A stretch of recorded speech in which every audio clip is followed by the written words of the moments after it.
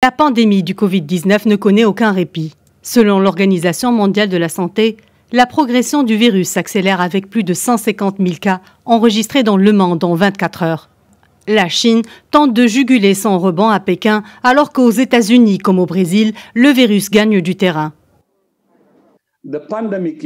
Il a fallu trois mois pour recenser le premier million de cas et le dernier million en date vient de l'être en seulement huit jours.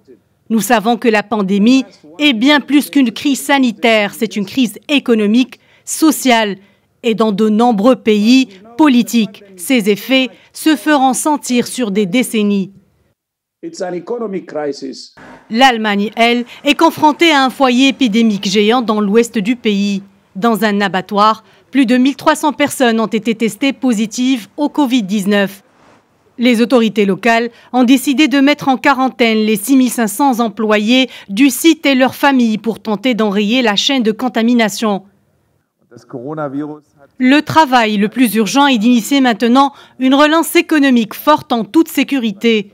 C'est la priorité absolue de la présidence allemande de l'Union européenne qui débute le 1er juillet et que nous avons placé sous le thème Redonnant ensemble la force à l'Europe.